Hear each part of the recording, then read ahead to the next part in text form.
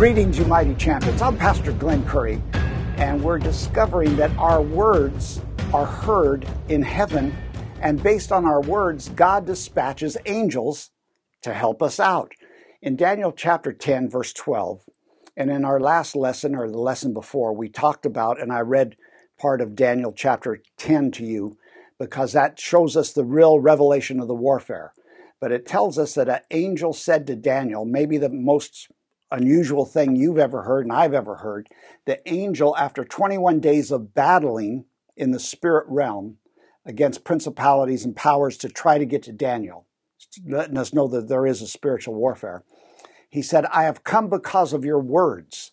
And so angels are dispatched from heaven to earth, or at least on the other side of our ionosphere, which is Satan's prison wall that he can't go past. He's called the prince and the power of the air or the atmosphere.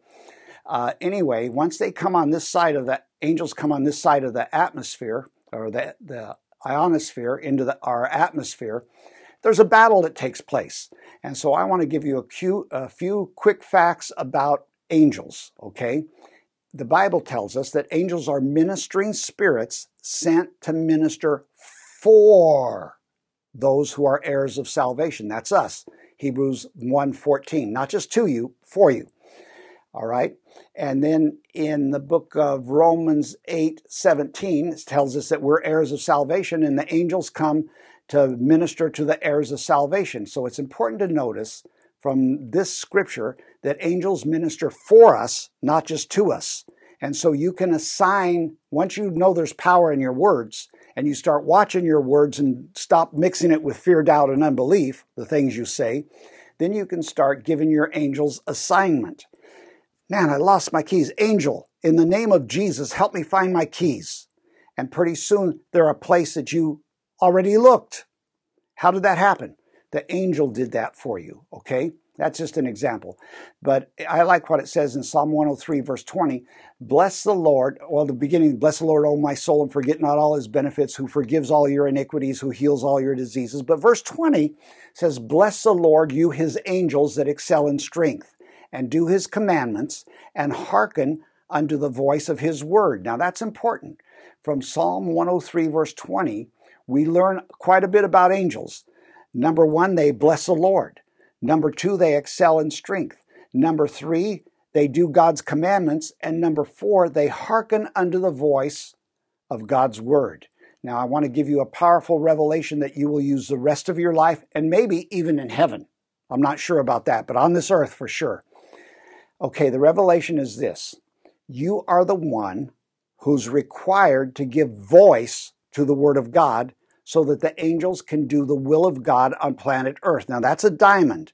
I want you to rewind it and listen to this over and over again.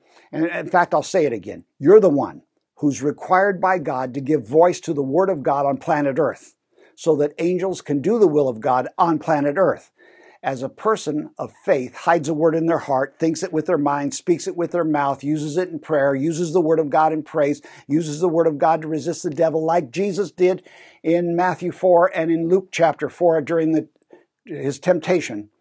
Angels are sent to materialize what you're speaking. And so, thus, the need to hold fast the confession of your faith without wavering, Hebrews 10 uh, 23.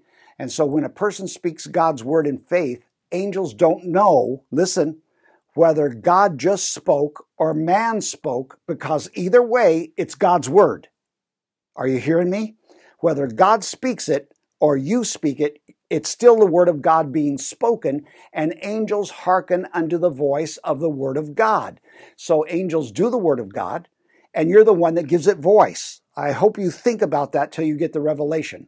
God's word is still God's word even though it was spoken by a human being in faith. You know what I'm saying? A non believer can quote a lot of scriptures and stuff like that, but when you have faith in your heart and the love of Jesus in you, and you have got the life, character, nature, power, ability of God on the inside of you, when you speak the word of God, bam, there's power. Angels hearken unto the voice of the word of God spoken by believers who speak God's word. Okay?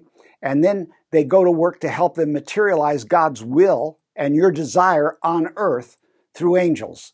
So, what have we learned about angels? Angels are ministering spirits and minister for us, not just to us. They do minister to us.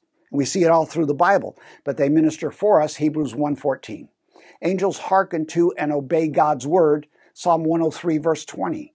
We're the ones that speak God's word and give voice to the word of God without wavering, uh, Hebrews 10:23, don't cast away your confidence. And so we're the ones that give voice to it so that angels can minister and move. Angels come to earth because of our words. That was Daniel 10, verse 12. That's what the angel said after tw- 21 days. Man, and then we saw that angels war against principalities and powers that war against us. And so be- before going on, take the time to absorb the full impact of this, this truth. Angels come because of your words. The downside is, in like manner, if you speak negative, unproductive, idle, fearful, unbelieving words, then demons come. And so release your angels by speaking the word of God. Don't release demons by complaining and moaning and all that kind of stuff. I'm Pastor Glen Curry, and I speak blessing and victory to you in the name of Jesus. Uh, you bind and you restrict those angels with your with the, the demons with your words, and you release angels with your words. It's a it's a marvelous thing to be uh, connected to God. Don't forget to view my 30 day devotional on healing, my 30 day lesson on uh, faith, and I'm telling you. I love you. I'm for you all the way. Please like and subscribe and comment below. Ring the bell so that you can get notifications. Uh, this is going to be, I don't know how many days, but I'm teaching on spiritual warfare. The first part was negative because we are looking at the Bible on what the Bible says about the devil.